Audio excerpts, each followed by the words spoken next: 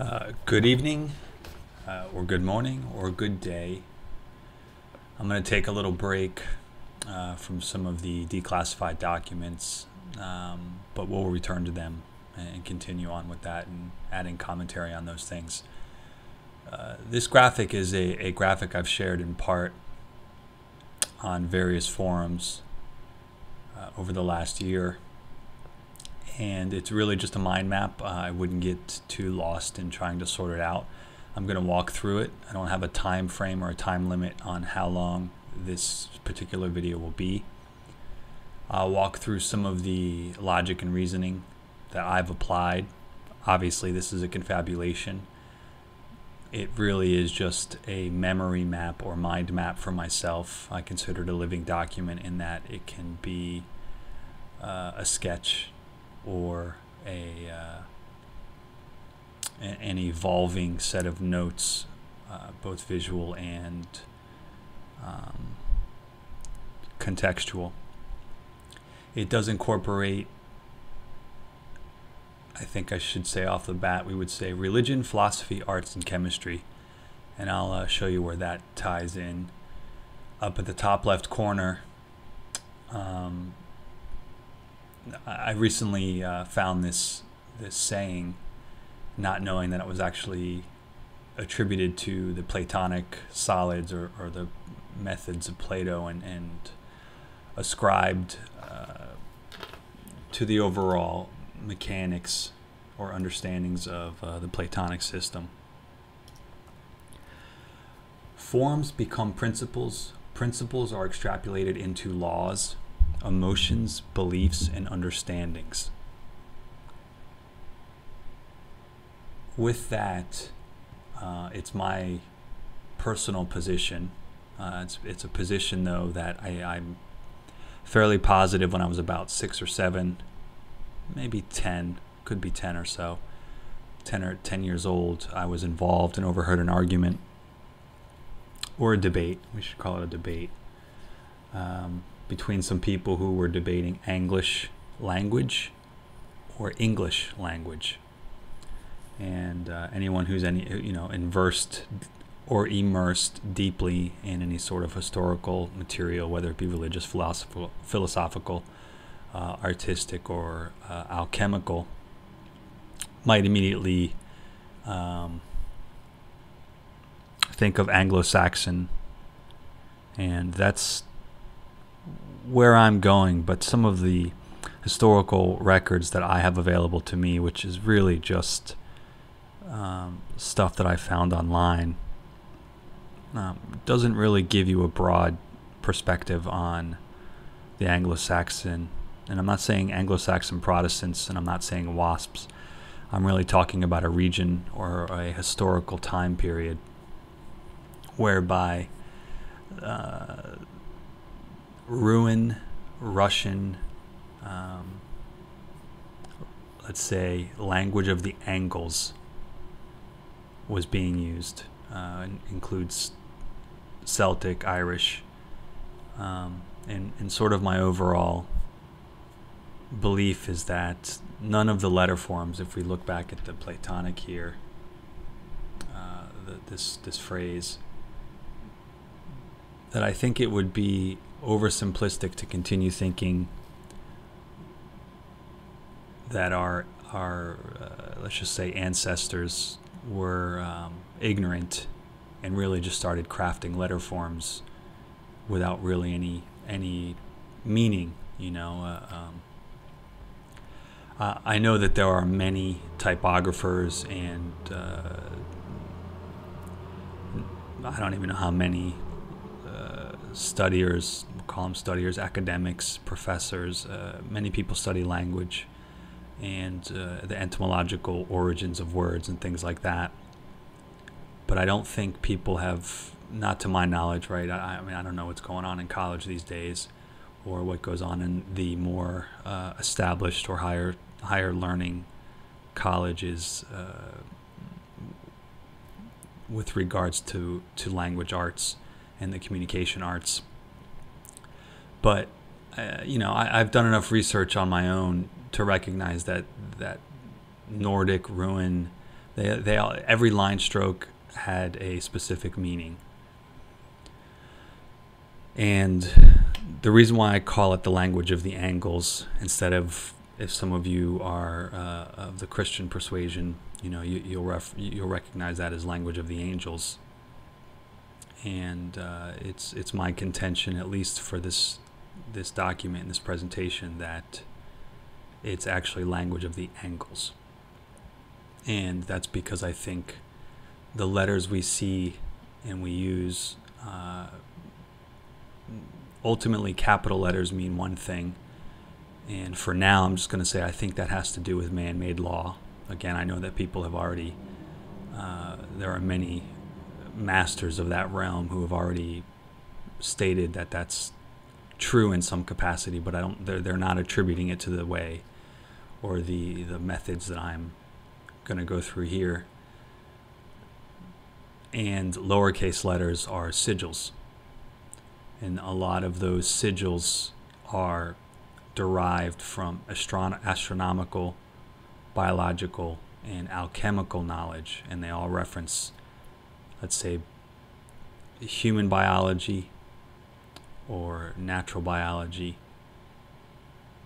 astronomical knowledge and uh, material knowledge.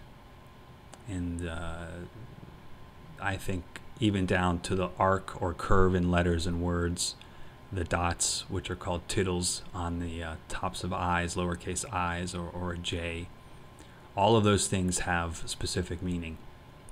And I mentioned typographers before, and, and, and a lot of those people probably are familiar with certain philosophical notions behind those things, and as well as I don't know, there there could be tons of papers and research on that stuff. I just haven't been able to access it, and uh, I'm coming at this from a Luddite's perspective, um, but auto as an auto also as an autodidactic. Uh, I'm going to reference a few existing words that I think are pretty popular in contemporary culture and from a pop culture perspective and phrases um, and, and analyze the complete combining of maybe I don't know, let's just say 10 languages right now, both through accent and how they're pronounced and how they may have been mispronounced or retranslated with characters because of uh, because of an accent as well as sigils from other languages um, being incorporated into the English language. This isn't going to necessarily, it shouldn't really reference grammar or, or rhetoric or any of those notions because I think those arts came after the fact where, um, you know, a, a very, very low level but strong foundation for how I arrived at this stuff. But uh, unfortunately, I'm not ready to present that aspect of it yet. But the the uh, another very underlining, let's just call it say a pillar. I'm sure a lot of you would like that. Wink, wink. Is that language had to have been created both verbally and written written form after we had some other forms of communication, whether it be art and pictographs, you know, things from the Indus Valley. Um, essentially, it's my my belief, we'll say, because that's really what it is. I don't have evidence of it, and I know a few.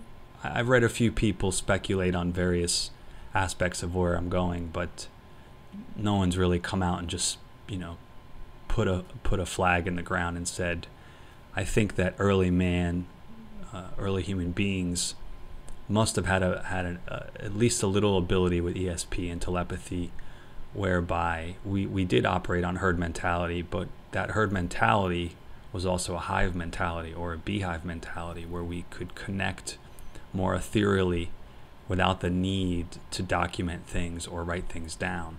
We would have had to have had some sort of extra communication ability or supra communication ability um, and it's my my contention that violence or trauma or um, the aging population or demographics uh, of those times, or say tribes or groups or wandering beings and wandering humans,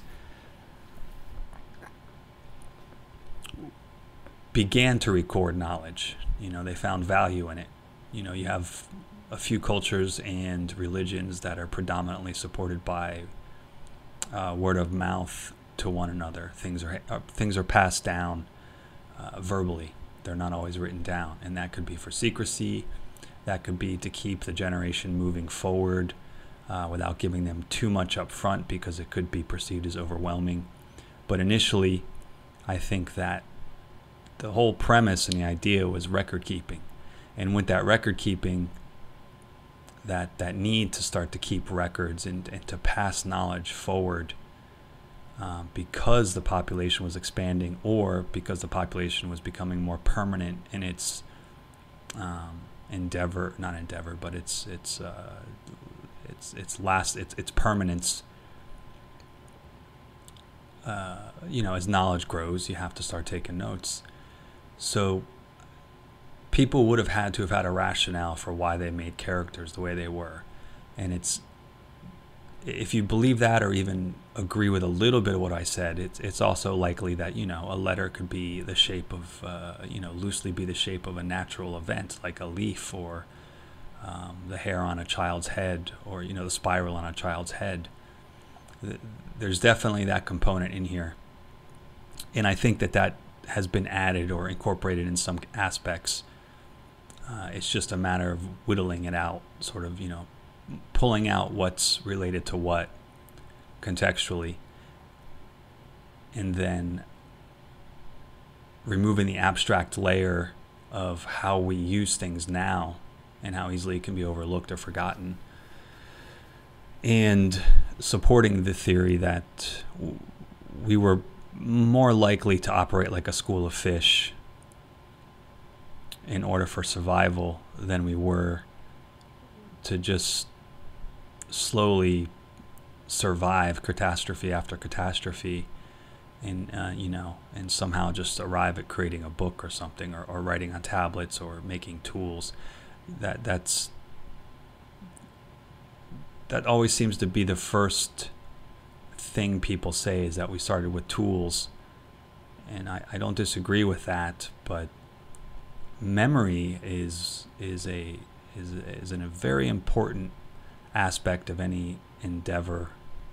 I mean, with anything, you have to have memory, and if you don't have a good memory, you have to have good records, and you have to be able to do things efficiently and in a way that other people can pick up on it.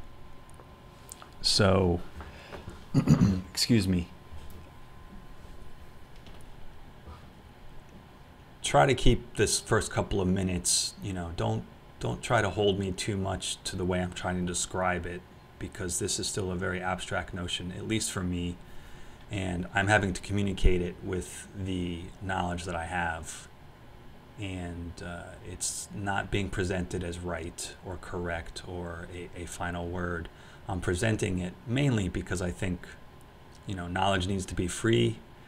Um, access to information and knowledge is very critical, uh, but at the same time, uh, every idea needs to be sort of vetted across a broad spectrum of potential outcomes and, and results and interpretations from other people.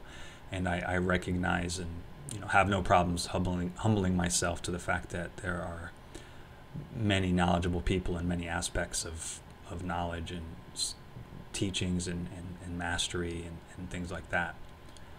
So, uh, with with religion, philosophy, arts, and chemistry being sort of the, the crux, and I'm not intending that to be a pun, but it is a pun, being the crux.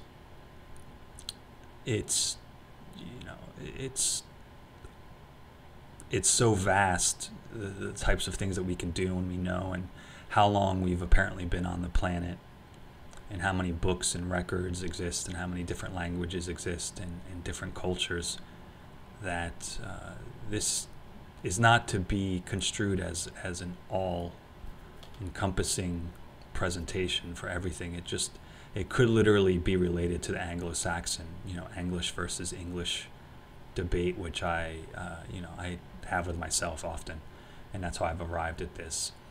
This does incorporate what people might consider secret society knowledge. It does incorporate uh, what I call mastery schools instead of mystery schools. Um, I am coming at this contextually with the idea, or you know, I guess the the basis of a maker or a creator versus um, an explorer.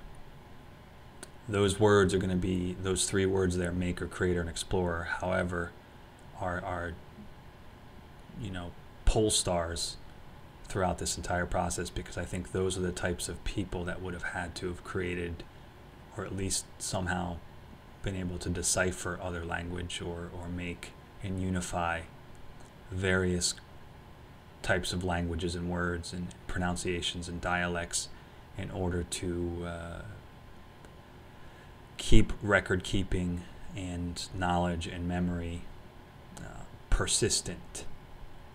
Maybe not consistent because that that'll be clear as I, I start going through some of this stuff, but persistent to to keep the ability to transfer knowledge persistent. Whether it's deliberately coded or codified, I don't know. Uh, in some of the stuff not on this document here, it does feel like it's been codified. In other cases, it's it looks like it's been deliberately mistranslated, or or what uh, people on the religious and philosophical philosophical side will say, uh, what's been called redacted or a redactor's notes. Um, but I hope uh, I hope I can get through some of this without being too long-winded. I'm not going to go through it real quick. Generally, I'm a pretty fast reader, a speed reader, but I am articulating something here to whomever listens or watches without. Uh, it's not that it hasn't been refined. It's just that it touches on so many various different knowledge sets and skill sets that I one want to cre- you know present it in a way that's not offensive so, and uh, to keep people interested, at least in so much as that if someone can immediately spot a fallacy or something that I present is so uh, so concise and clear in its presentation that someone can immediately rebuke it with something proper or, or more likely to correct it or you know present something that will dissuade me from even going in that direction because it just seems so obtuse. And then also uh, for the people who do have knowledge sets and, and skills in these sort of uh, different categories that I go through, being religion, philosophy, arts, and chemistry, that those people are able to understand where I'm coming from and, and wh- what I'm trying to talk about and convey. So just hold in the back of your head language of the angles, not angels, and this is not an insult. It's just uh, it's it's not meant to relinquish the power of your religion um, or anyone else's for that matter. And English and English are those things. Just hold those in the back of your head here. And then while you're looking through it, just always kind of come back to this here because I, I think that this is critical. I'm not putting everything I believe into this here, but this was so succinct that I, I had to uh, attach it and then there's just my notes below it right here, which is look at the words, listen to their pronunciation, consider accents of those times, and how people probably did a lot of lip reading as well, um, you know, and mistranslating words because of accents, and uh, give the letter forms intention and reason. Let's not just consider them to be embellishment or uh, decorative. I, I, I, don't think they are at all. And um, again, there's there's no if my voice and tones a specific emotion or feeling, it's not deliberate. Uh, it's it's hard to be interesting without being monotone, and uh, you know I have to think before I speak, not because it, it I, I don't know what I want to talk about. It's because there, there's just so many different lines I'm crossing here for many people that have such stringent belief systems and value in what they believe that uh, you know I, no one wants to be offended and no one wants to present anything that's going to offend anybody. Uh, knowledge is to be respected, and uh, so are belief systems, because right now, like I said, this is just a belief system of Anglish over English and um, really dissecting, at least giving our, our ancestors credit for being much more attenuated to what they want to do and communicate versus, uh, you know, necessity being a part of form and function, not um, embellishment and decoration. So, uh, right here we've got start here, and that's where I'm going to start for now. It's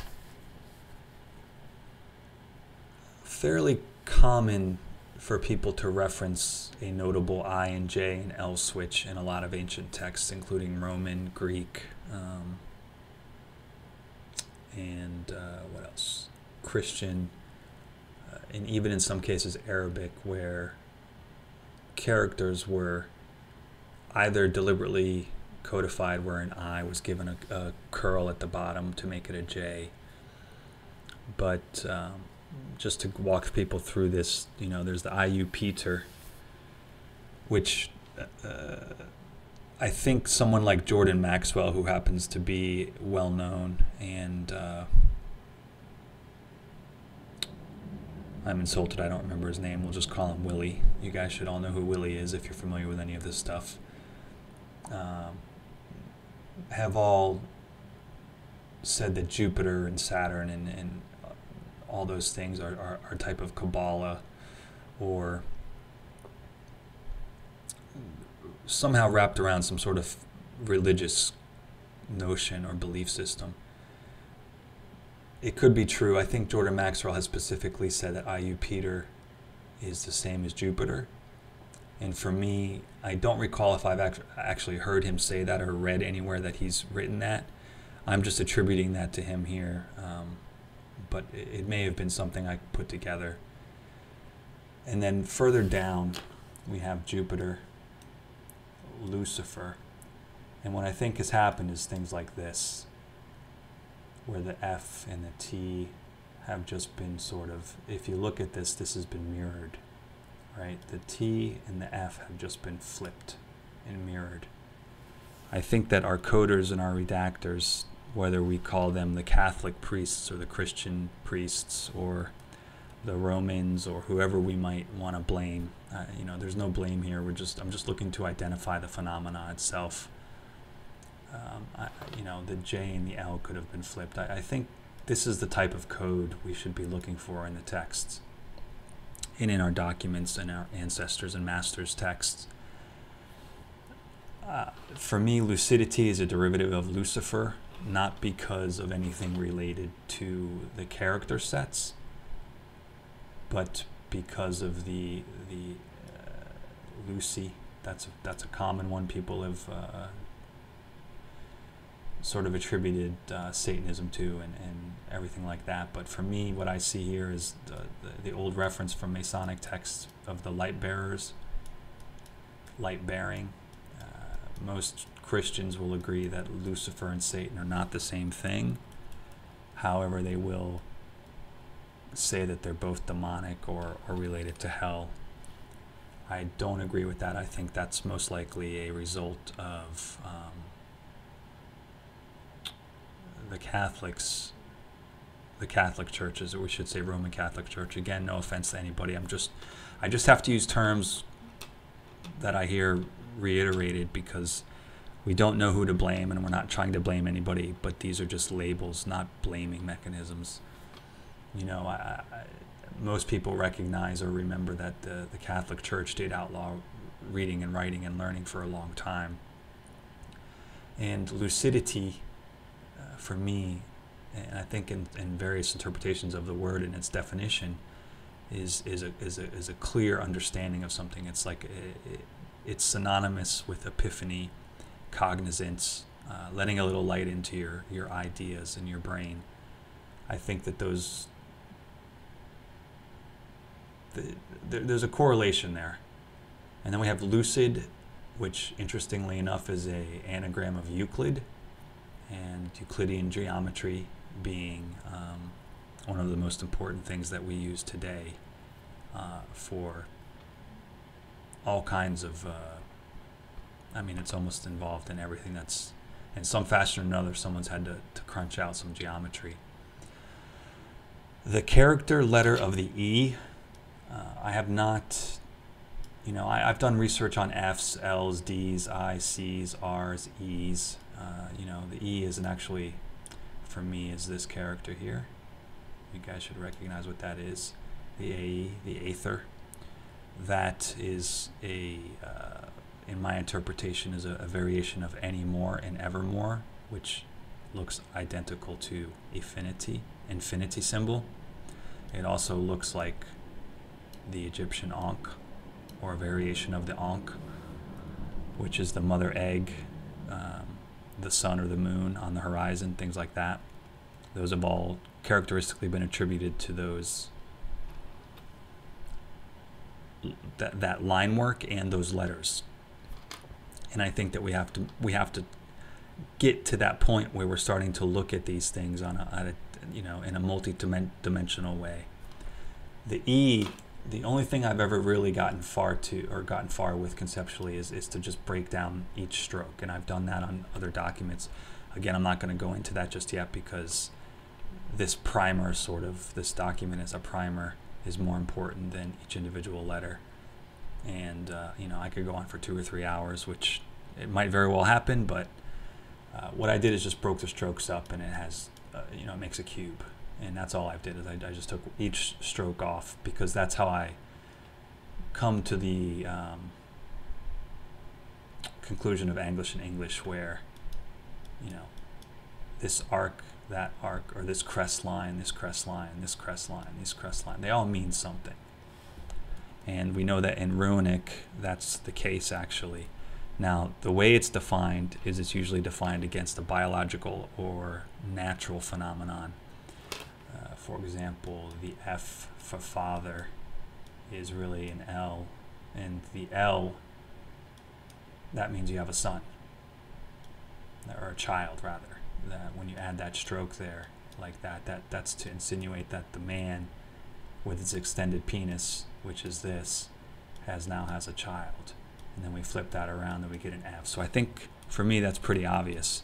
The mirror world and uh, the the Michelangelo and Cezanne's and the, uh, the Da Vinci's, the, those codifications are important but I think we have to take it down to the micro level as well as the macro level.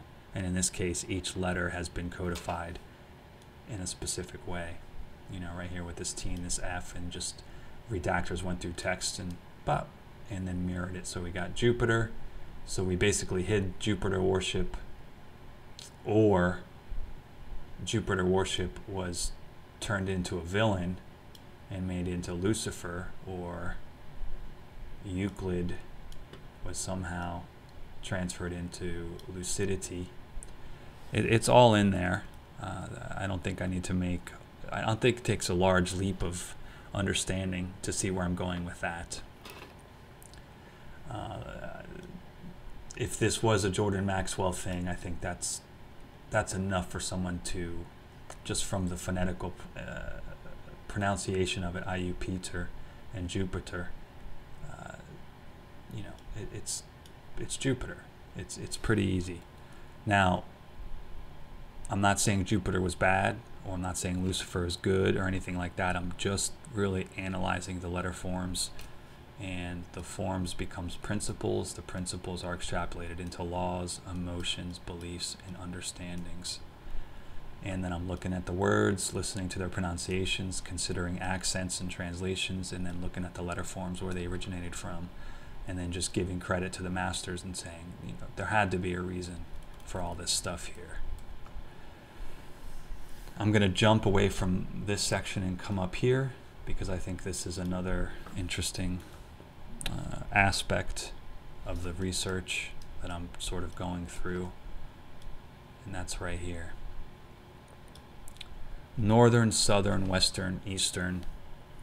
Um, I, I, think it's pretty. I, am going to read these out, but uh, I'll let this sit with you, everyone visually if they're watching or listening. Uh, and just a little story to support this, sort of how I arrived at this conclusion. I think explorers, as I mentioned before, that those three groups of people, most of the text that we have, most of the knowledge, and the need for keeping knowledge persistent, I think, is also ascribed to the the ability of man to persistently remain in one place and, and learn things. And a lot of those texts, whether they be religious, philosophical, alchemical, uh, Masonic, uh, you know, whatever, they always seem to come from people who have lived in high lands or lands with, that aren't necessarily surrounded by water, but you know they're not water-bearing cultures to begin with. They're not water traveling, and it's it's precarious to me that we don't. I think the only, I think the most well known traveler, explorer, warrior, um, healer, philosopher uh, would be Jason and the Argonauts. And it's pretty interesting, you know. We have Jason. I'm just going to put that there. There's not a lot of famous Jasons. I think there's a Jason that's considered a healer in biblical texts. And that Jason, who's the healer, would have been, if we uh, consider the Homeric text, you know, Jason and the Argonauts, uh, Jason would have been, I think it's the best friend or the brother of Apollo and Apollo and Jason were students of Asclepius. Asclepius. Uh, I'm probably pronouncing that wrong. I apologize. Asclepius, who uh, was a famous healer and basically the uh, the person given credit for modern medicine. And um, there's not a lot of explorers. Most of the things related to explorers is wrapped around the hero's journey, which is a literary device. And um, if you've done a lot of art study and art history, uh, whether through school, college, or, or on your own, or maybe you have private, you know, private instructions and stuff, or even your own records, your own families keep records. Excuse me. You know that most explorers are turned into adventurers uh, they don't care about anything. There's not a lot of need for permanence. There's, you know, they're often uh, whimsical and, and other times aloof. And it's just all about the journey and all about the adventure. But we actually do have explorers seeking to keep their knowledge permanent or persistent. And those records are in the form of maps. We just don't. Uh, I don't think a lot of people just make that don't don't make that correlation that there may not be a 300 page document or a book or a scroll because one if you're on a boat or you're traveling from place to place you try to usually keep it light. And uh, if anybody's ever lived on the water or near the water you know that salt water will pretty much destroy anything after a given amount of time. It's uh, it's it's not a it's not really an easy life to live even you know even if you're a captain of a ship with multiple hands on deck and, and things like that you don't maps are probably most likely the the originator of iconography right? Uh, where it became literalisms and in some cases there were subtle codes used but uh, you know iconography and art i would think not symbols but iconography and art wayfinding visuals. They're basically wayfinding visuals that reference points with very literal um, drawings. Explorers' sort of legacy and, and what they've left behind would be maps. And with those maps, um, you know, there's the ever-present compass, and then we have the compass and the square, which uh, is attributed to the Masonic history, and we'll get to that down here in a, in a, in a few minutes. But this is, is where I'm sticking. So try to stay with me. I'm gonna, you know, there's a lot of tangents to go through.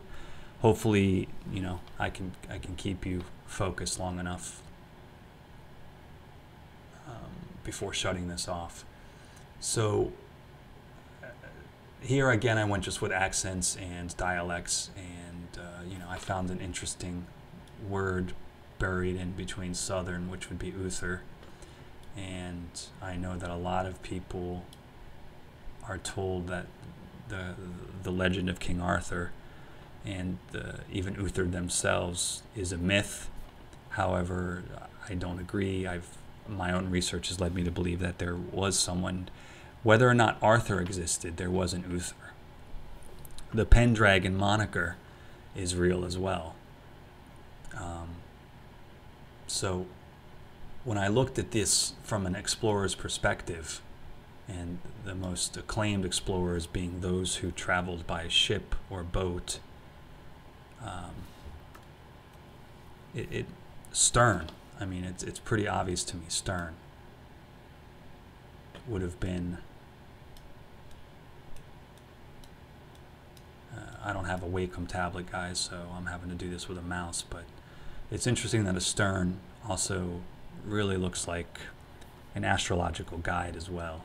It also looks like something that would uh, correspond with the lunar and solar cycles and star maps. Um, I think that's a pretty obvious symbol for people who are versed in, in any sort of uh, mariner, sailor, uh, shipping, commerce, uh, history, or families. And uh, we have North Stern, which, if we add an accent to it, we've got Norse Stern. South Stern would have been Uther Pendragon or perhaps Angland. West Stern would have been, could have been Welsh Stern. And East Stern, I think, is Essenes or Asian Stern. East Stern.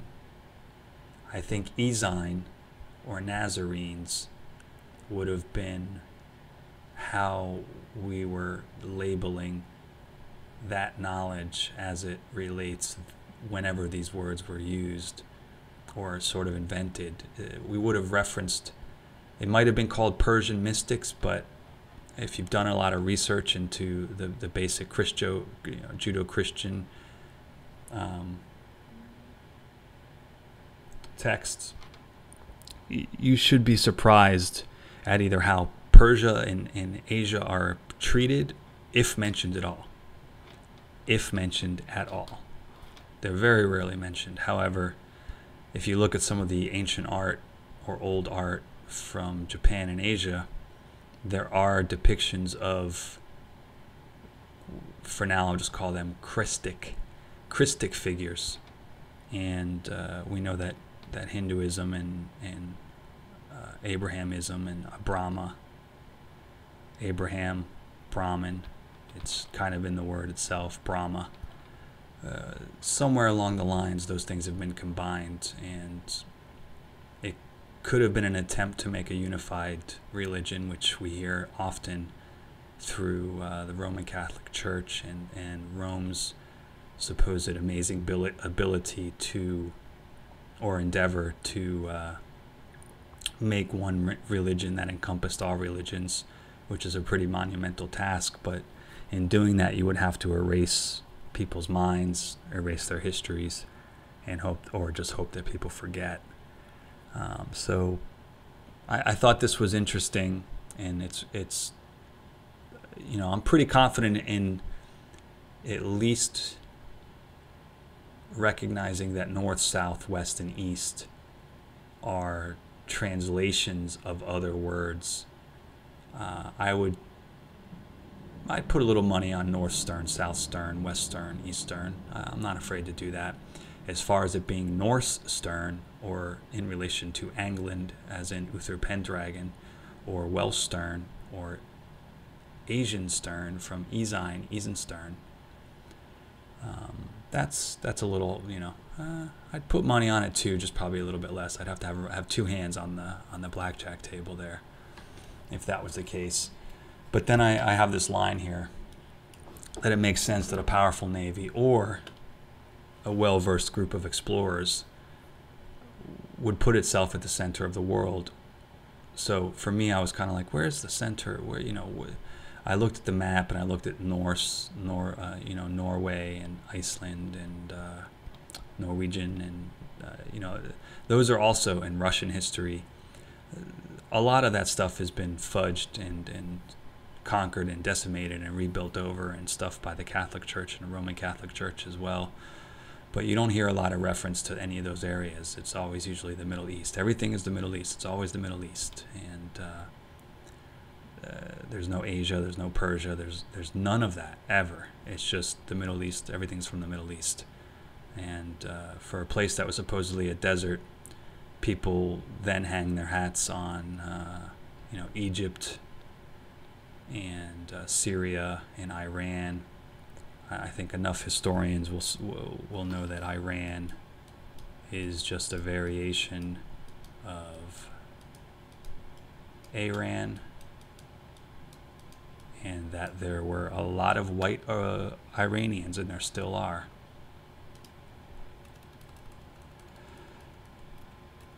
So. Um, and historically speaking, we're generally given this real linear, perfectly plotted timeline of, of how history changed hands. And that doesn't really make sense because we know nothing happens in a day unless you force it to happen. Um, and there, there's just too much history. There's too much of a perfect timeline. Even if you say there's gaps here, we're missing 300 years here, we're missing, it doesn't matter. It's just, it somehow is laid out in such a perfect linear way. Yet, where we're often told that the Vikings were sort of not that smart or uh, were basically conquerors and brutes, and we're, we're told Asia wasn't really much of anything. It was mongrels, and you know, it's a very isolated way of looking at things, I think, and it, it does put the Middle East at the center, yet it's called the Middle East. So when I say who would put themselves at the center, it, to me, it's it's it's Britain or Britannia, which basically has verified connections to Sumerian cultures in Britain. So, you know, I mean, it's it's it's very precarious. And then I, uh, so what I do from here is that I conceptually take this plot course, plot land, and maritime law, I take it now from the, the codification of the words and I go back to symbolism and, and how letter forms are constructed and uh, th this kind of switching here. What I'm basically looking at constantly and sort of always stuck in is how just how often this symbol is used in some way or another. A stern, the sacred cross, uh, the bind and the circle from, say, witchcraft, uh, the actual runic letter forms, which could all be derived. Right, here's our R. It's all on this. So I think for me, this is a codis. Now, I, I recognize the arcs and stuff like that aren't being translated uh, in Ruin, but um, I'll, I'll, get to that potentially in another video. So let's just leave that there, put that on pause, and then let's come back here to Euclid. These time frames are, are you know, I'm not I'm not claiming any sort of order because I think that's wrong to do. I don't know what appeared first or who appeared first. And honestly, if you're being un, you know being unbiased and objective, you don't need the time frames right now. You're just really looking at the pockets of of uh, corollary corollary correlating elements that may or may not be ancillary to one another. And, and this is actually interesting here because we look at Arabic language and Thai um, think it's uh, Tamerlane, I think it's called. And they're, they're very beautiful languages. You know, they're, they're so articulate. Or I think it's Astromavi. You know, they have these, these beautiful, if you didn't know any better, you would think it was an art form. But uh, they all incorporate curvatures in their letter forms. So we may have, in our attempt to make the English language a universal language or uh, something, whatever, uh, we began to incorporate arcs and curves. But let's go back to this here. The founder of geometry. Uh, meter is a uh, is a Masonic term, Masonic symbol. Symbol. We know that the the square and compass are tools and symbols that are, you know, if I they may even be trademarked. I don't know uh, under the Masonic orders and, and uh, things like that. However, that one symbol, that let's just call it the square, or originally what it was called by the Phoenicians and the Egyptians, is a gimel. Now, with just that little line right here, just this ability to do this, to say take one line and take another line and, and use them.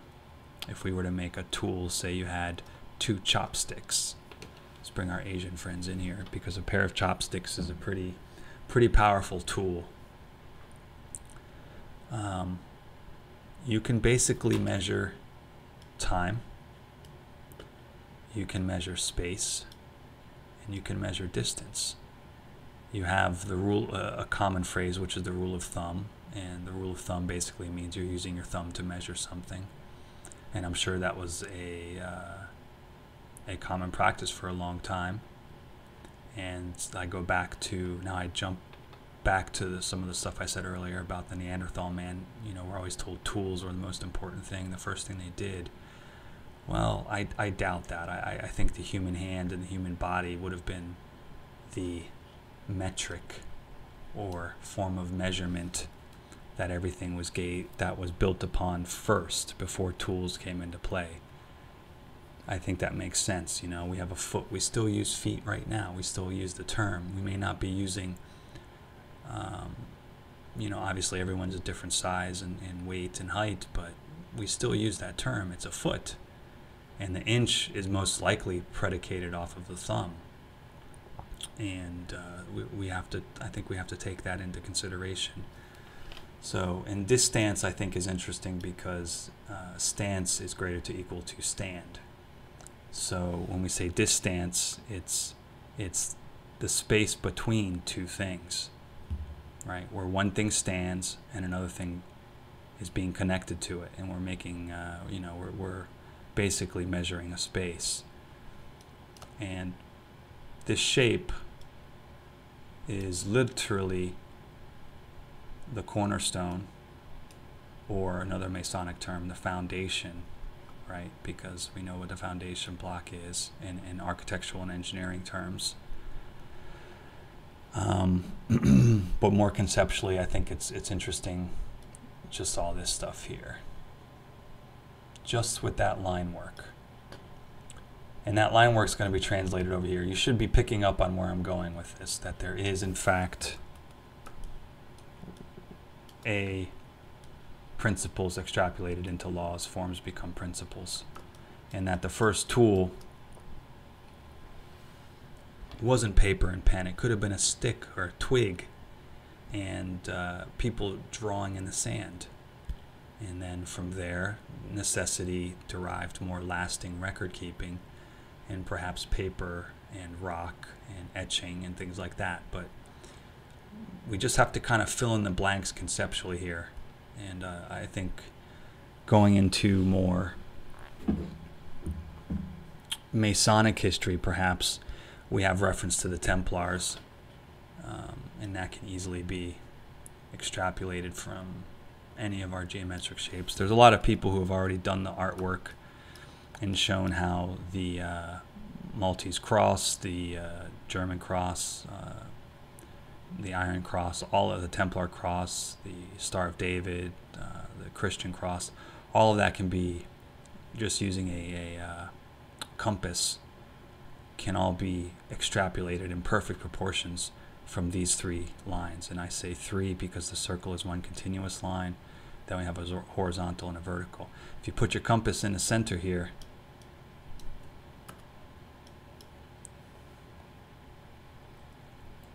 your, um, yeah, I think I locked my layer here.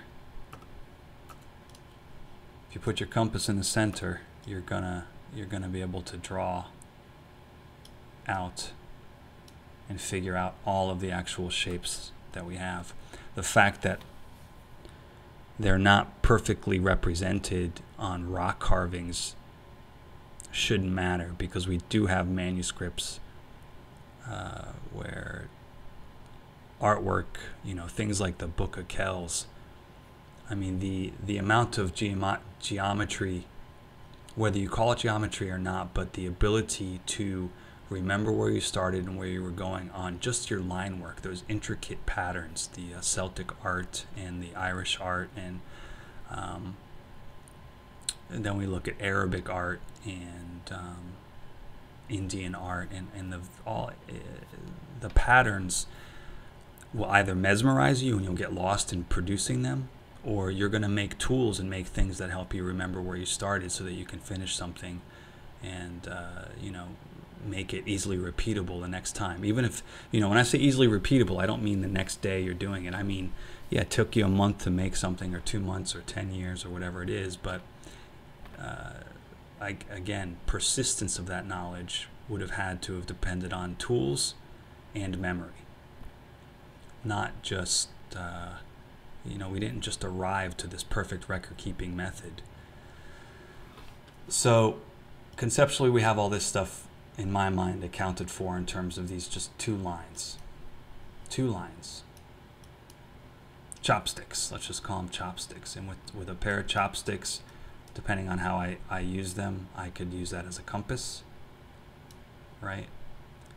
Uh, I could use them as a measuring stick or a meter meter stick, and uh, work my way around it that way. And with that, let's just quickly jump into this. So geometry or geometer, uh, binding distances. That's all we're doing here is binding a distance. You know, I, I consider it something like a, a, a, man sort of hanging out on an endless plot of land and uh, he takes his cane or his meter stick or his gimel and he sticks it in the ground ties a string to it, puts a rock on it, and then just walks around the base of that and makes a perfect circle. Now, before we had record keeping, we had devices. I don't want to say tools yet, but let's just call it a device. Let's not uh, isolate it too much, but binding a distance, binding time, uh, being able to make something out of nothing is essentially what gives us this sort of uh, higher philosoph- philosophical thought here. And that in turn gave us this because the gimel or the compass and square is exactly the same device that uh, mariners use to plot courses on maps. Pretty profound tool profound tool basically made of two sticks, two straight lines, two straight edges. Um, so now I have to go back to the phonetics and the sounds and the accents, and I, uh, you know, uh, uh, my deeper sort of foundation on all this being English, not English, which really puts English or English as a root language, you know, next to something like what people might consider Hebrew to be. Or it is, in fact, the newest language, one of the newer languages on the block, so to speak. However, it's so cleverly designed that it incorporates all aspects of, um, you know, philosophy, religion, and art. Uh, it's I'm not trying to pinpoint it on the map. I'm just trying to show that an island of thought exists with what I'm talking about. It's highly conceptual stuff. So if I say Mithra, measure, and Magi, these two for me, if I were from a different land, measure and Magi, I think they're almost the same thing. I think if I were a high religious religious person in those times and a dedicated religious person with my belief system and I was already being told that reading and writing and tools and things of those nature were dark arts and the, the ability to communicate with sigils and uh, magic symbols that made people smart or made them know things without ever being told words. You know, I could just show somebody a symbol and they knew what to do right away. Or they acted in a weird way that I was not familiar with. Um, for me, there's it's a pretty simple correlation to make. I think measurers are the same as magicians, um, and then we take it a little bit further with, uh, you know, like I showed the man trying to plot land and, and figuring out how to divine land or divide land. Language of the angles.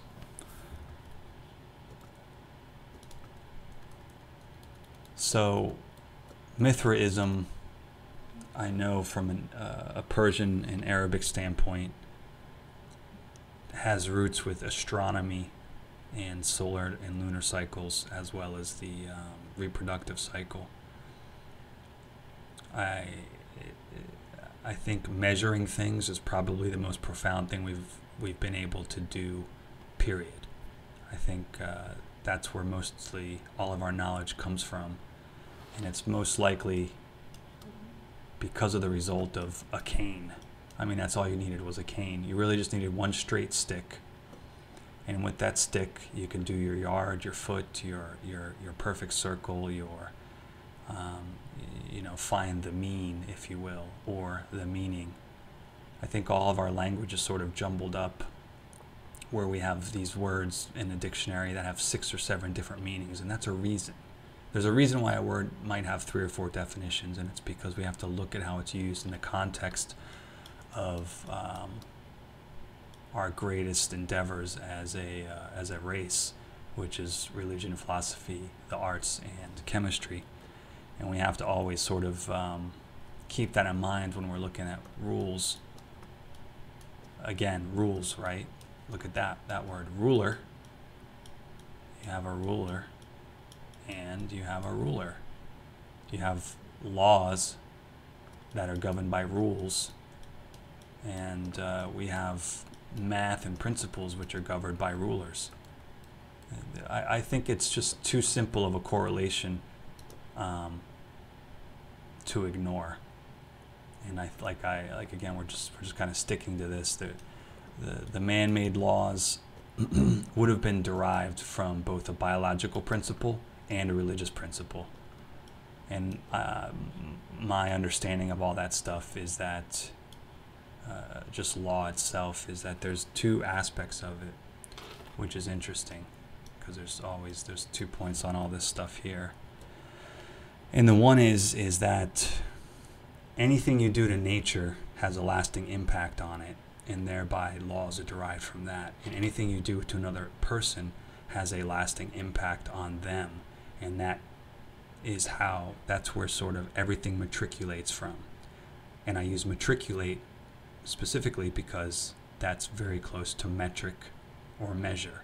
But matriculate means something different in relationship to law or the spreading of information. But it's the same word. It's it's literally pronounced almost identically. So we have meter, matriculate, mithra, measure, magi, um, the language of the angles, the great divider or the great diviner. It's possible, the right? Devil could have been an extrapolation of divide. Um, deviling. I, I, there's there's some interesting words from Germanic and Ottoman, say fairy tales, devilish, uh, even Italian, right? Uh, not Diablo, but I want to talk about uh, scribbling and scratching and uh, those words to me actually have a little bit of a negative connotation, and I think that we have a, a little bit of a lexicon or, or colloquialisms from still used today all, by all of us without the same intentions that were imbued in those words when I'm about to apply where they come from. But the if we're going to outlaw reading and writing, and we don't know, I don't know, I don't know personally how long that was that lasted. But if we're going to outlaw the arts, you're going to come up with a new way of describing the arts that doesn't reference their actual meaning to keep people from looking further, right? You're going to recodify those words, whether deliberately or not, but you're going to come up with scribbles and scratches, and he's possessed, and he does the devilish, you know, deviling marks and scratch, right? Scratch that old. Scratch is actually a, a reference to the devil. Scratch that old devil. Um, people deviling their hands, uh, fidgeting, doing things, and scribbling. We're always given this contemporary, we're shown those types of imagery in horror movies and movies centered around Satan and all this other stuff. And it's presented in a negative context, but I, I think we have to look at that that with a lens of, of just a time period when what, what might most likely might be the medieval times um, could be, I guess, but uh, I'm sure a lot of you out there, if this, this video gets any traction anywhere, uh, will be able to correct me. But uh, I think there's a lot to be said for that. That scratching and scratch and all that stuff was a negative connotation given to people who, who still knew the arts or were passing the arts on or people who were just maybe compelled to like express themselves and because they couldn't um, you know, they couldn't use the words they wanted to use. They couldn't use the art they wanted to use. Uh, we come up with these symbols, and I wouldn't, you know, I wouldn't doubt that these symbols, while they're while they're found in caves and stuff, we're always told they're found in caves and all this other stuff. I mean, I, I look at some of the the ruins, and, you know, where they say they're found, you know, in these lost cities, and they look like prisons to me they look like they were old mass prisons where people were put and watched and left.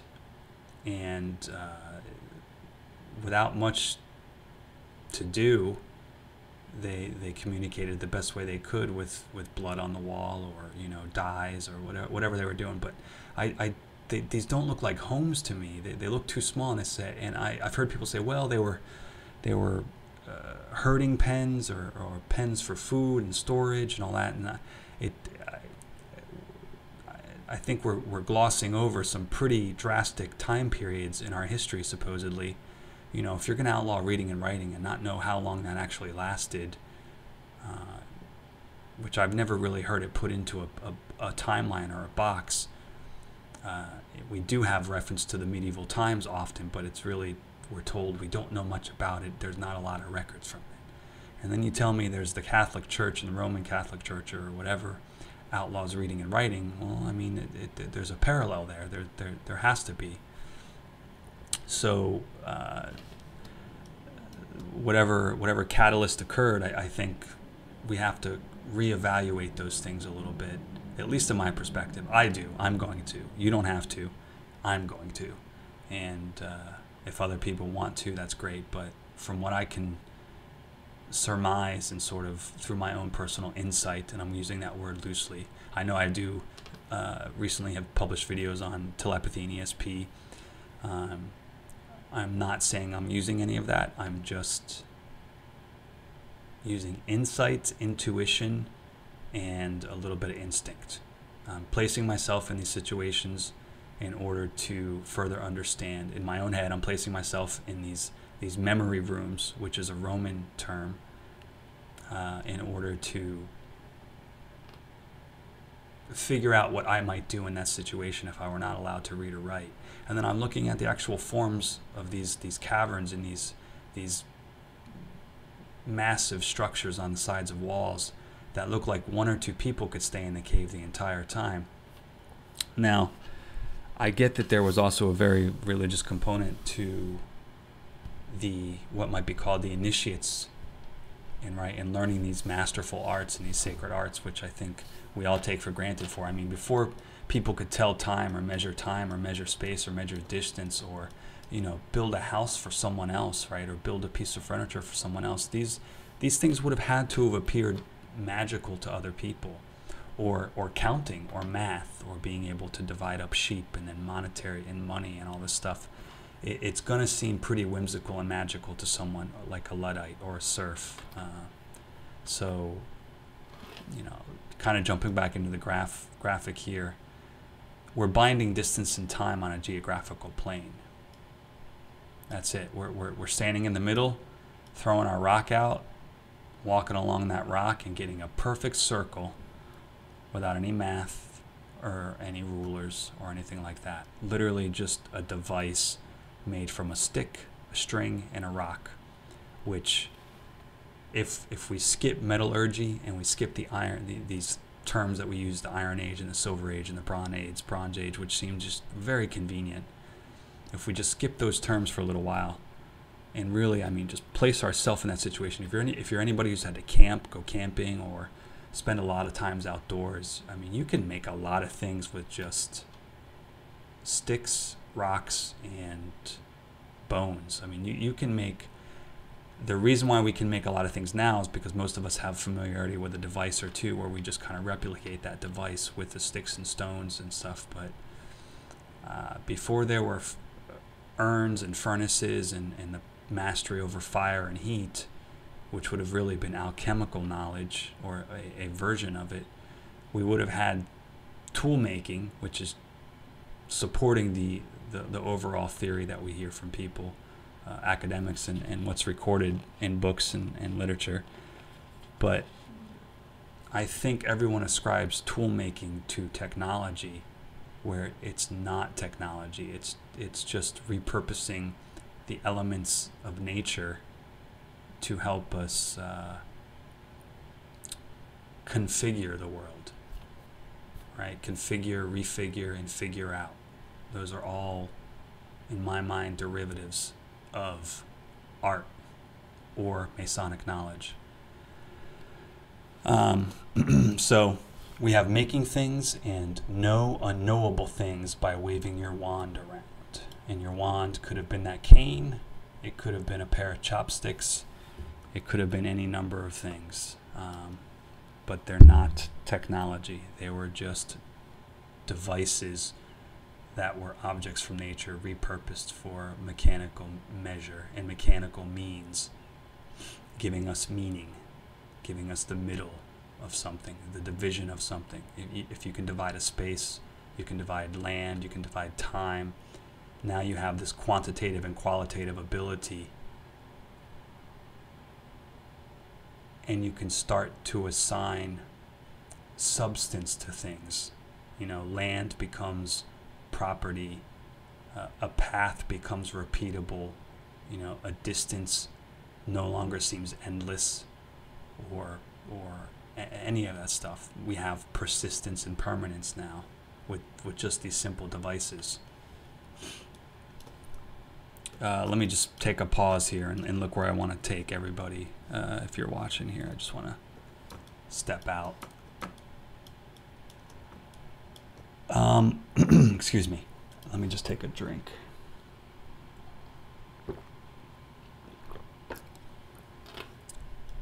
This stuff here is uh, actually, let's just do it this way. I mean, I, if, if you've grasped any of the concepts that I've tried to communicate here, I think this stuff makes sense here. We have math, which is the divine or the divide, the language of the angles, and being a magi who can measure using geometry, geometering, right? Geo metering in the middle. It's pretty simple. Uh, the one and the zero. Um, is interestingly, I think, also tied to Isis and Osiris.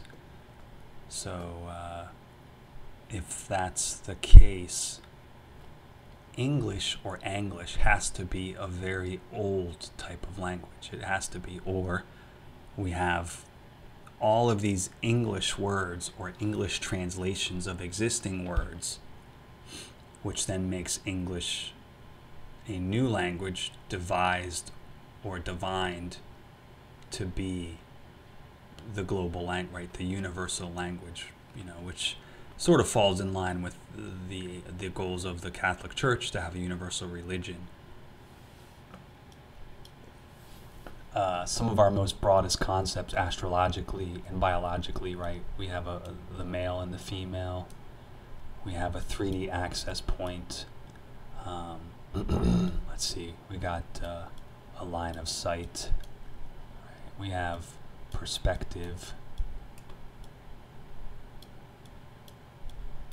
All of these things can be done and communicated broadly with almost the same two shapes, just repeated, turn, twisted. And I find that to be remarkable and notable and worth, uh, you know, further explanation, exploration, at least by me.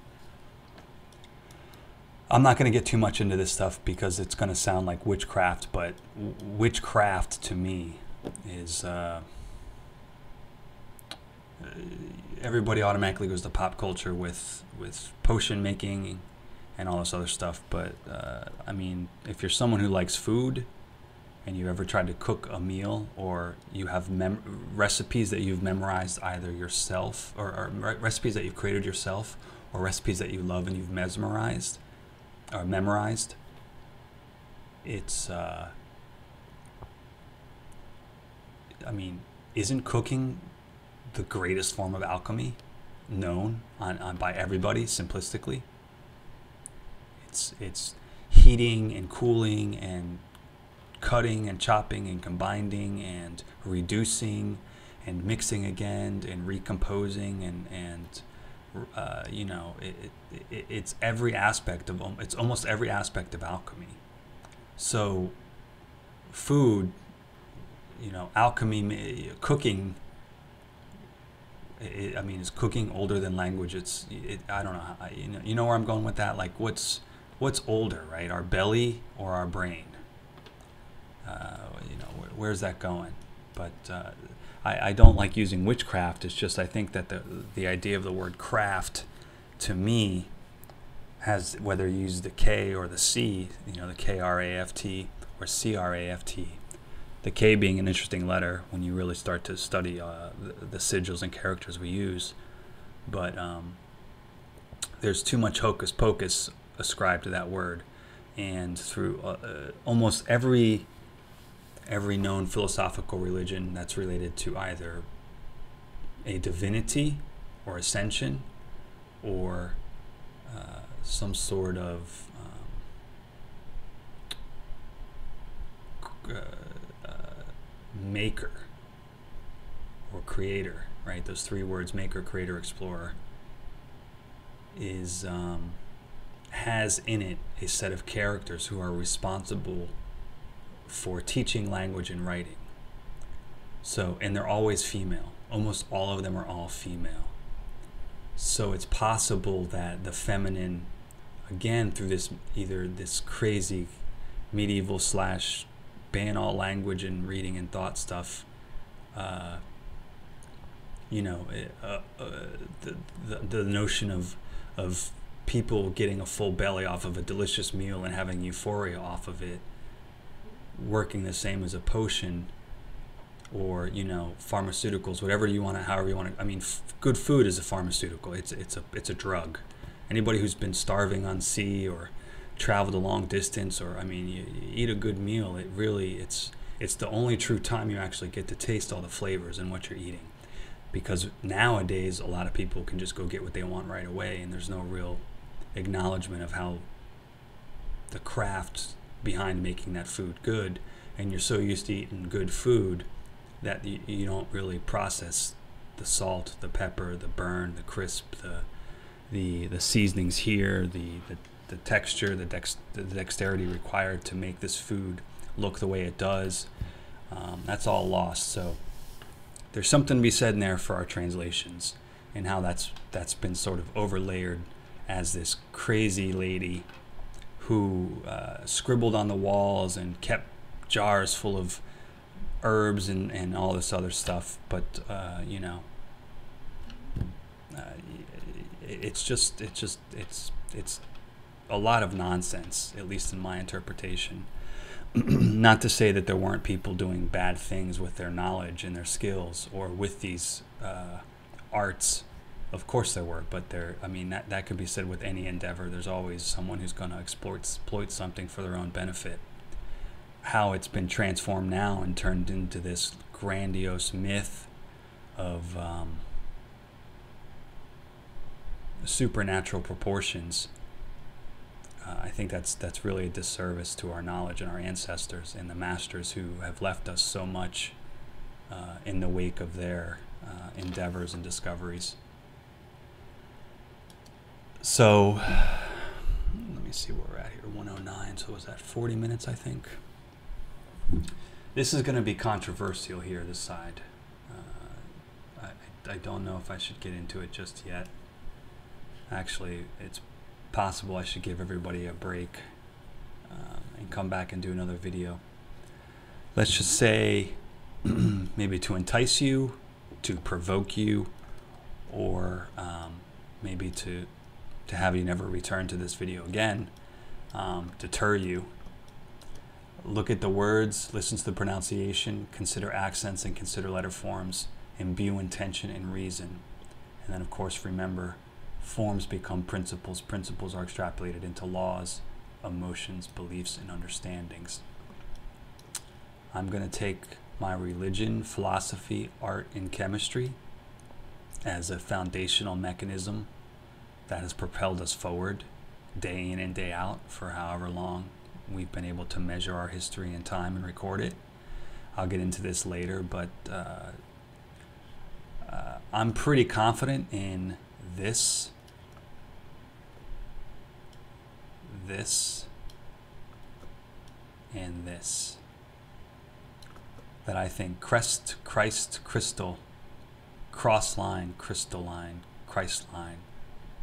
I think those are so obvious to me. Uh, and it's only because I really do respect all the different things that I'm trying to uh, conceptually tie together. I mean, it doesn't matter what if you believe in Judaism or believe in uh, Islam or, you're a Buddhist or you you like Christianity or you don't like Christianity, it doesn't matter. That, that, that that's not the point of any of this. It's just to show that there's just too many connections. Again, if if this is if, if we're looking at the ancient texts of masters, you know, which which is all we really have. That's what everybody's going off of is their religion, their philosophy, their arts, or their alchemical knowledge. And on that, we have all these other societies and fraternities and, and things like that. But I don't see how something like the crest line, crystal line, and then when I put it to line work, when I give that line those forms and those rules, we kind of have some of our most famous symbols here. And then we also are able to show our most famous philosophical and scientific notions of the world with again just these these literal simple lines. We have the cross, we have the the the uh, DNA helix, we have um, fractal emergence, which is really the crystalline structure in nature, and um, I you could say, hey, it's just a clever combination of things, and that, that may be true. But again, if you just give our ancestors and our masters some respect, whether English or Anglish is relatively new or a root language, uh, there's just too much correlation here if, if we look at how alchemy has somehow been separated from religion and philosophy has somehow been separated from alchemy and uh, religion is, is just this been turned into this supernatural thing. Uh, you know, and reading and writing were banned, and and it it, it does, none of it makes sense. There's just no reason to do that unless you want to control everybody and keep people divided. Um, forms forms become principles, and that's what we sort of have here. This this derivative form, which comes from this this ability to just use a cane, a gimel, or um, chopsticks, you know, whatever, uh, in so many different ways and do so many different things with it that, uh, you know, whether religion came first or philosophy came first, art and chemistry, as I just said with cooking and with communication and record keeping, would have had to have been the first. They would have had to have been. And when I say arts, I also mean language. So, uh, the spoken word and, and whatever it may be, uh, defined as by you, whether you use the phrase the spoken word or just words in general, utterances. Um, you know, I can go into some real deep stuff with A, E, I, O, U, and all this other stuff, but it, it's not it's not going to help my abstract cause right now trying to go through this. But I think again, this serves as a memory map for me. This isn't to try to sell you guys on a bunch of uh, abstract notions, but this is so I can put a lot of stuff down and get to it and come back to it and then, you know, sort it out. Entropy, chaos, and all this other stuff. And let me just go back here and just show you this because I think it'll, uh, it, it could help my cause here before anybody calls blasphemy because I think that's that's one of the biggest issues too is this belief in this supernatural um, this this metaphysical somewhere else that's going to punish us or something um, you can look at this either way. You can look at, you know, start it from this side and work your way backwards because this line here does coincide with this one and this one and this one and the same. So it's kind of me just breaking down my thoughts into more approachable ways. So various texts of various masters, all attributed, misattributed to one another, separated, divided. It's not like there was a culture of alchemists every society had alchemists. It's not like a culture of there there was just artists. Every society had artists. It's not like there's just a culture of religious people. Religion people practiced cooking, they practiced arts, they practiced all that stuff too.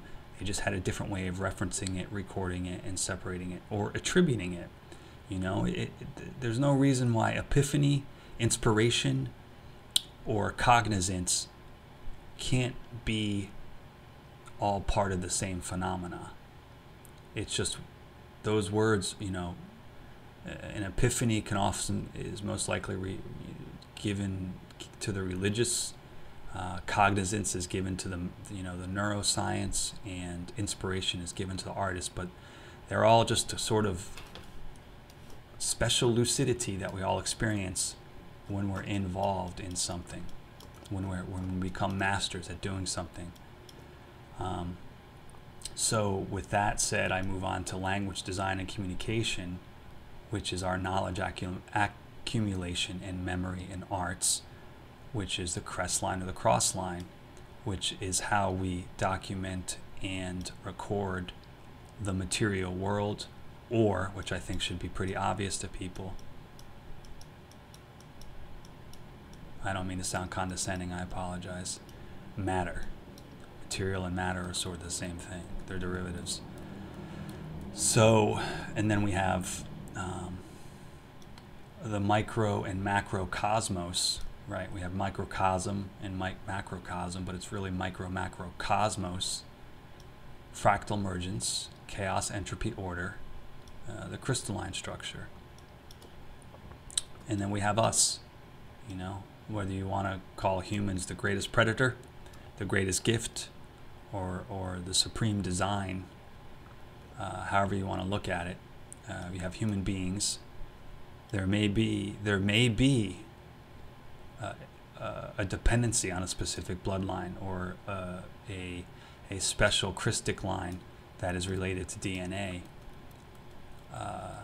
It, it's just too coincidental to have these all sort of these ancient old words ascribed to these very important philo- philosophies and uh, abilities that we have, and not not be able to attribute them to more common words that we use today. Uh, you know, there's, there's definitely a divide and conquer uh, thing going on. You know, you want to call it controllers, whatever. But I'm, I'm just again, we're not. I'm not looking for who done it. Uh, I'm just looking to isolate that it did happen. You know, as I think I've said in, in one of the other videos, I'm. Uh, I, I can't isolate why it's happened. I'm just showing that it is happening for for whatever that's worth to the onlooker. Um, and then we have, you know, we have here the Platonic solids too. We have the dodecahedron that emerges out of this. So real simply, the building segment of biology, material, man, all that stuff. I think you guys can look, you know, the building block. These are all phrases that are attributed to whether they're masons, alchemists, or religious people. And that sort of leads us back to ancient builders, the great builders, chief of the cornerstones all of these are uh, referenced in various ways through different texts and uh, ancient history from the masters. Uh, here I'm just kind of starting to work out some other stuff, but uh, you know this is definitely all all memory arts, like I said at the beginning. Whether you're an explorer, a maker, or a creator, and the creator being you know the macro, and the the maker being the micro of that and then the Explorer. But um, you know, again, we just, I mean, this is almost the Sarah. Uh, uh, I'm mispronouncing it, but uh, it's almost the beginnings of the Seraph, the uh, Kabbalah, which is spelled wrong there. Um, so then I come back over here, crystalline, Christline equals crystalline, alchemical, physical strongest symbol. I think structurally, everybody, anybody who's kind of had to build something knows that the arc is actually the most solid sound structure we could make by hand uh, in terms of it should be geodesic like this you know, an igloo uh, if it was made out of stone or an arc right with the keystone in it these are very profound building um, practices that we use, uh, and I think that this should be taken seriously.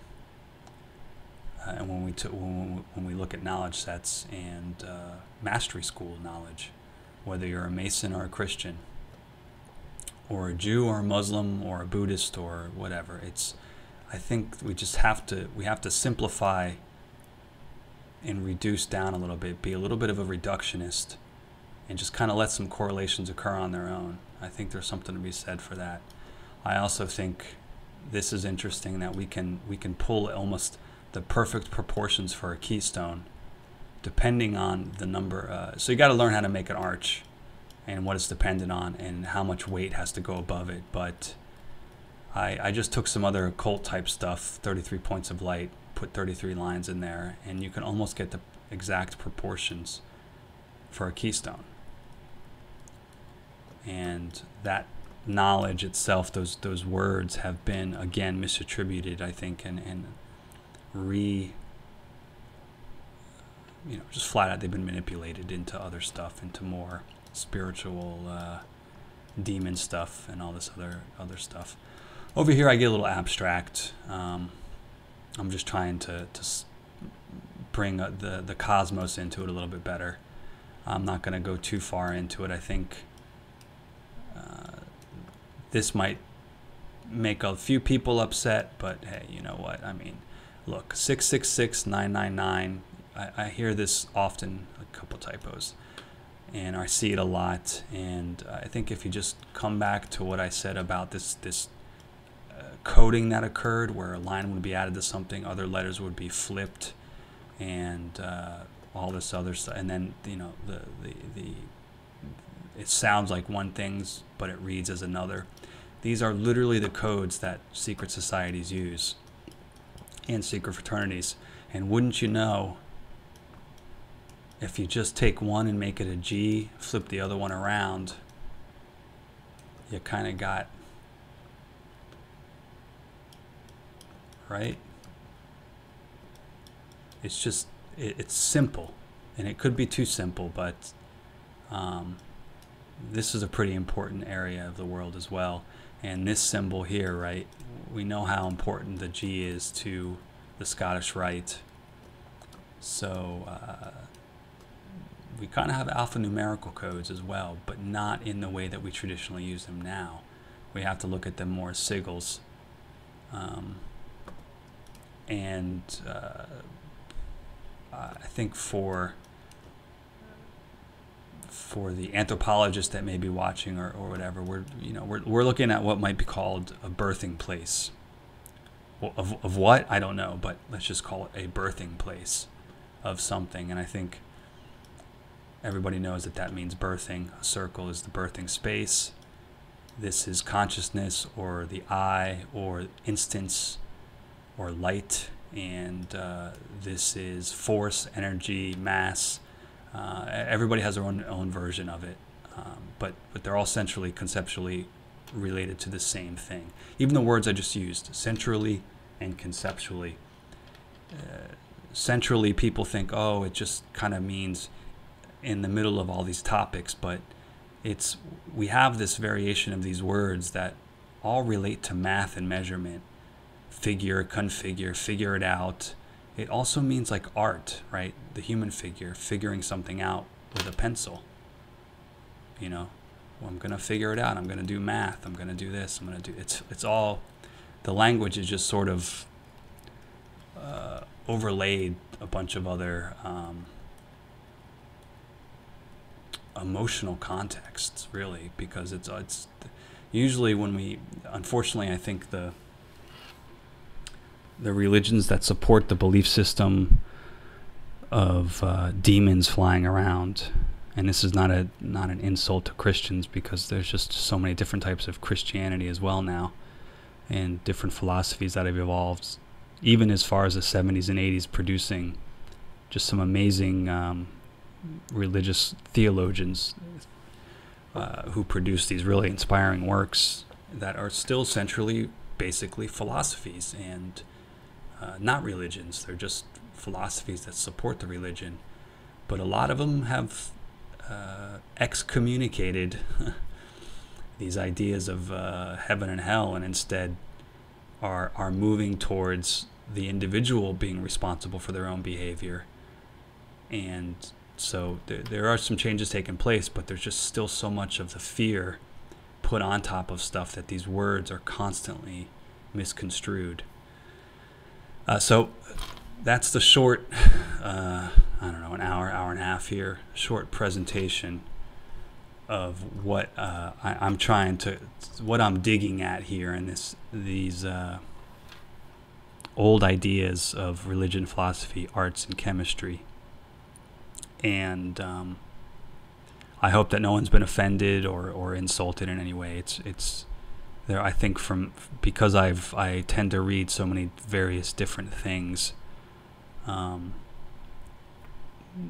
some I should read more in depthly, but uh, when I go into sort of a scanning mode and I'm trying to run two or three books at a time because I have something that I have to solve quickly, uh, unfortunately, drawing is easier for me than it is uh, writing or uh, drawing what I see in the real world is easier for me than drawing what uh, you know, making diagrams and trying to make things seem uh, tangible. It, it's you know, it, it's not the same thing. So I have to, uh, and then also the the the amount of words I absorb excuse me, depending on, uh, fortunately, that's all written in English and, and uh, I can uh, make these correlations. I think it's it's important to recognize at the tail end of this uh, as I talk. It's just not it's not meant to be offensive, so you can't take that offense. It's it's just not there. I mean, you can be discouraged, you can be upset, but you can't blame the intention nor can you blame the person behind the intention because I don't have those intentions there. I just want to state that. Uh, but I think, you know, and, and you don't have to, I mean, you can completely disregard this. There should be enough holes as well. I think there's a few holes in, in any number of these things, but I'm not going to go back and listen to this just yet. Uh, I, I think I've covered what I want to cover for now because anything else would be, uh, would lead people off a cliff and into a tangential downward spiral, uh, another very important uh, symbol. Uh, you know, this is another example here. It's not the golden calf. It's it's most likely the golden halves. I mean, that only makes sense to me in the context of the presentation that I've made. But um, there, there's a lot of other things that can be learned um, on your own, simply just just by doing some geometry work. And when I say geometry, I don't mean uh, mathematics. I mean just getting a pencil and paper and really getting down, getting off the keyboard, and just doodling a little bit and uh, looking at the letters and symbols that we all use and these words that we all use. I think they're tied together in more implicit ways where the form becomes a principle and the principles are extrapolated into laws, emotions, beliefs, and understandings. And if we just step back and look at how we use words in English that may come from Italian or Latin or Greek or uh, Scottish or Russian or Ruin or Chinese or whatever it is. I mean, the fact that we can we somehow get a translation of you know I don't I don't know what the Hebrew word is for Hebrew. Does anybody know what that is? Because as far as I understand, we're using an English word to describe a different language. Is there a Hebrew word for Hebrew? If not, that should be an indicator to everybody that there's something going on with the language overall. In, in you know, uh, just to tie back in and close this off, the witch stuff. I mean, we have spells and spelling, and everybody has sort of made that correlation before. But we use these things for a reason. That's that. That's that negative ban reading and writing, and uh, the devilish scratch and, and all that stuff. The spells and spelling. I mean, that's how powerful the arts are that when we began language, we probably didn't know what we were doing, and we could have, you know, the, the whole the whole premise is is that it just spontaneously erupted, and, and it didn't. It couldn't have. We would have had to have started, in my mind, with ESP or telepathy as a bunch of Neanderthals, you know, running around like a school of fish, reacting to vibration and uh, you know energy waves that we send out to each other, just like fish do or sonar, and uh, the arts and chemistry being tool making and device making, uh, as well as cooking, uh, and and then that sort of evolving into uh, religion and philosophy, and then throughout all that we sort of lose these and we lose this, or uh, a larger group comes in and says, you know what, it's all devilish and you can't use it anymore, and look at that, the no symbol is actually a line in a circle. That's crazy. All right, uh, I hope I can get some more of these videos out, but I'm most likely going to go right back into the ESP stuff from the NSA and CIA. And I'll come back at another time, maybe in a week or two, and try some of the other um, mind maps and graphics that I put together. And, uh, you know, I don't know how, again, I don't know how much traction this video is going to get, but if there's any comments or questions, post them in the bottom and I'll try to answer them as honestly as I can uh, still recognizing that uh, this is still a big abstraction. All right, thanks.